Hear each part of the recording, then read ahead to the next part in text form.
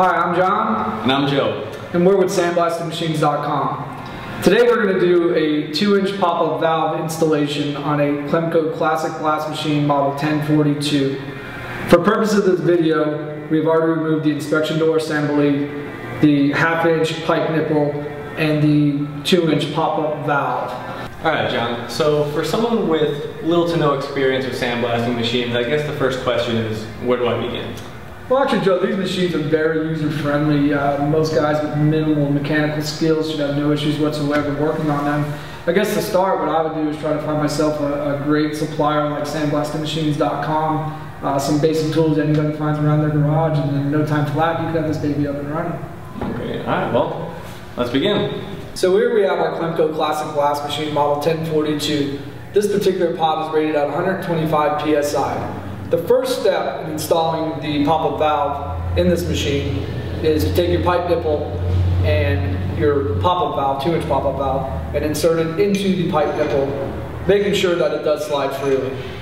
When you insert it in the machine, you want to keep it at a slight angle uh, Okay. so the valve does not fall out of the nipple and falls into the bottom of the pot. You're just going to create more work than uh, you really need to do. And all I need to do is just find the thread to match them up. Yep, just line it up on that 90 degree half inch uh, pipe fitting and your nipple should screw right in. Let's just do a double check, make sure that's, that's sliding. Everything feels good. Alright, John, well, that seemed pretty easy, but uh, the inspection door seems to be a little bit tricky, so why don't you uh, hop on in and show me uh, how we exactly do that? Uh, one of the tricks I've learned over the years when reinstalling the inspection door, I like to slide my finger inside the actual latch of the door. We'll then flip it over and carefully insert the door back inside the blast machine. We don't want to drop the door inside because you're going to create yourself some unnecessary work trying to fish it back out. Once you have her lined up, we're going to keep slight tension pulling out on the door so we don't drop it. And we're going to then take our latch assembly with the square end of the bolt going in, sliding it over the latch. Slide everything over tight. We're to line it up and then snug our nut on the opposite end.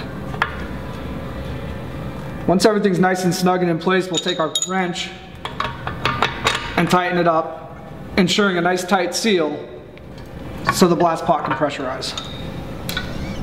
Alright, John, well, you were in line.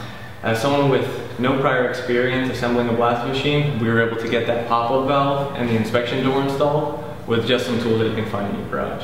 You're right, Joe. I think some of the key things you need, as long as you have the correct tools, uh, trusted supplier like sandblastingmachines.com for your replacement parts, pretty much anybody out there can go and uh, make the repairs they need on their blast machine. Alright, Well, today we showed you how to install a pop-up valve and an inspection door, but that is just one of the many videos we will be creating to show you how to assemble an entire blast machine. So, uh, stay tuned. What's going on, guys? The tools required for this installation is a adjustable wrench, and for some of the older Alright, John. Alright, John. So, for someone with. Jesus. Alright, John. Oh, what the hell? Okay. get everything nice and snug, lined up.